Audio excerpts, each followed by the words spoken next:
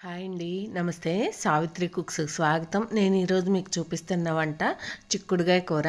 ఈ చిక్కుడుగాయలు ఈ సీజన్లో బాగా వస్తాయి కదా. మన ఇళ్ళల్లో కాసే చిక్కుళ్ళు చాలా బాగుంటుంది కూర. త్వరగా అయిపోయే కూరల్లో ఈ చిక్కుడుగాయ కూర కూడా ఒకటని చెప్పొచ్చు. ఈ చిక్కుడుగాయ కూర నేను ఎలా చేస్తానో చూపిస్తాను. మీరు కూడా చూసి తప్పకుండా ట్రై చేయండి. ఇంకెక్కడ నేను చిక్కుడుగాయలు తీసుకున్నాను ఈ చిక్కుడుగాయలు అమ్మ పంపించింది. ఈ చిక్కుడుగాయలను ముందు ఇలా ఈనెలు ఉంటాయి కదా ఈనెలు తీసేయండి. అయితే రెండు వైపులా తీసేయద్దు. ఒకవైపు మాత్రమే తీసేయండి. అటు చివర ఇటు చివర ఉంటే ఇలా తీసేసుకోండి. అంతేగాని రెండు వైపులా మాత్రం తీయొద్దు. ఈనెలు కాయలు విడిలిపోయినట్టు అయిపోతాయి మనకు ఉడకబెట్టినప్పుడు. కాయలు ముందు ఒకసారి శుభ్రం కడిగేసుకొని స్టవ్ వెలిగించుకొని ఒక గిన్నె పెట్టేసి సగానికి పైగా వాటర్ వేసి అందులో ఒక టేబుల్ స్పూన్ ఉప్పు వేసి చిక్కుడుకాయలు వేసేసుకొని ఉడికించుకోవాలి.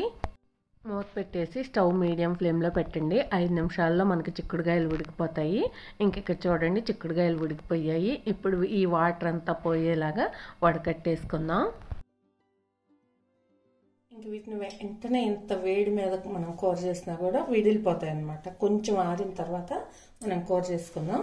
ఒక ఐదు నిమిషాలు అయిన తర్వాత ఇప్పుడు ఇందులో వాటర్ అంతా తీసేసాం కదా. స్టవ్ వెలిగించుకొని కడాయి పెట్టేసుకొని మూడు టేబుల్ స్పూన్ల వరకు ఆయిల్ వేసుకోండి. మరి ఆయిల్ తక్కువ ఉన్నా బాగోదు. చిక్కుడు ఉడకబెట్టేసుకున్నాం కదా అని కొంచెం నూనె వేసుకొని చేసుకుంటే ఆ కూర మనకి టేస్ట్గా ఉండదు.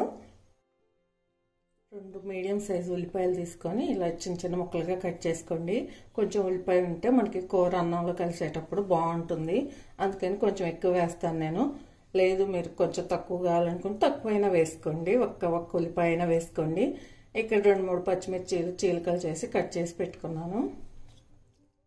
రెండు రెమ్మలు కరివేపాకు ఒక పది వరకు వెల్లుల్లి రెమ్మలు తీసుకొని ఇలా కచ్చా పచ్చిగా దంచి పెట్టుకోండి. కూర బాగుంటుంది ఇలా వేసుకుంటే. టేబుల్ స్పూన్ ఆవాలు ఓ టేబుల్ స్పూన్ పచ్చిశనగపప్పు ఓ టేబుల్ స్పూన్ మినప్పప్పు. ఈ చిక్కుడుకాయ కూరలకు పప్పులు ఎక్కువ ఉంటే బాగుంటుంది. మా ఇంట్లో అయితే ఎక్కువగా ఇష్టపడతారు అందుకని కొంచెం ఎక్కువ వేస్తాను నేను. మీరు కావాలంటే తగ్గించాను వేసుకోండి. లాస్ట్లో టేబుల్ స్పూన్ జీలకర్ర. ఇందులో రెండు ఎండుమిరపకాయలు కొంచెం వేసుకోండి. ఇదివరకైతే ముందు ఎండుమిరపకాయలు వేసేవాళ్ళు. ఇంక ఇప్పుడు ఏంటంటే ఎండుమిరపకాయలు ఈ తిరగమాత గింజలన్నీ వేగిపోయేసరికి ఈ ఎండుమిరపకాయలు మాడిపోయినట్టు అయిపోతున్నాయి అనమాట అందుకని తిరగమాత గింజలు వేసుకున్న తర్వాత ఇవి వేసుకుంటే మనకి చక్కగా కాళ్ళు ఉంటాయి. కొంతమంది ఎండుమిరపకాయ కూడా ఇష్టంగా తినేవాళ్ళు ఉంటారు. వాళ్ళకి అలా తినబుద్ధి వేస్తుంది అనమాట మాడిపోతే తినబుద్ధి లేదు కదా. మనం కట్ చేసి ఉంచుకున్న ఉల్లిపాయ ముక్కలు పచ్చిమిరపకాయ ముక్కలు వేసేసుకోవాలి. వీటిని ఒక్క రెండు నిమిషాలు ఇలాగే వేగనివ్వండి. చిక్కుడుగాయలు మరీ ఎక్కువ ఉడకబెట్టుకోవద్దు. ఉడకబెడితే చిదురు చిదురు అయిపోతాయి. రెండు రెమ్మలు కరివేపాకు కూడా వేసుకోండి. ఏవైనా సరే ఎంతవరకు ఉడకాలో అంతవరకు ఉడికితేనే బాగుంటుంది. పావు టీ స్పూన్ పసుపు అలాగే రుచికి సరిపడా ఉప్పు వేసుకోండి. మనం ఆల్రెడీ చిక్కుడుకాయల్లో ఉప్పు వేసాం కాబట్టి చూసి వేసుకోండి. కొంత చిక్కుడుకాయలకి ఉప్పు అక్కడ పడుతుంది వాటర్లో వేసిన ఉప్పు. ఉల్లిపాయ ముక్కలు కొంచెం కలర్ మారే వరకు వేయించుకోండి. ఇలా వేగిన తర్వాత ఇందులో మనం కచ్చాపచ్చిగా దంచి పెట్టుకున్నాం కదా వెల్లుల్లి రబ్బులు అది వేసేసుకోండి. ఒకవేళ మీకు వెల్లుల్లి ఇష్టం లేకపోయినా ఇంత ఇష్టం లేకపోయినా తగ్గించి వేసుకోండి. ఇంక ఇలా అంతా కూడా ఉల్లిపాయ కలర్ మారింది కదా గోల్డ్ కలర్ వచ్చే వరకు వేయించుకొని ఇప్పుడు రుచికి సరిపడా కారం వేసుకోండి. ఈ కారం అంతా కూడా బాగా కలిసే వరకు ఒకసారి కలిపేసుకోండి. ఈ కారం వేసిన తర్వాత ఒక్క నిమిషం వేగితే చాలు మనకి. మనం ఉడికించి ఉంచుకున్న చిక్కుడుకాయలను కూడా వేసేసుకోండి. చూడండి చిక్కుడుకాయలు విడిలిపోకుండా ఎంత బాగున్నాయో. నాకైతే చిక్కుడుకాయలు ఇలా విడిలిపోకుండా ఉంటే ఇష్టము.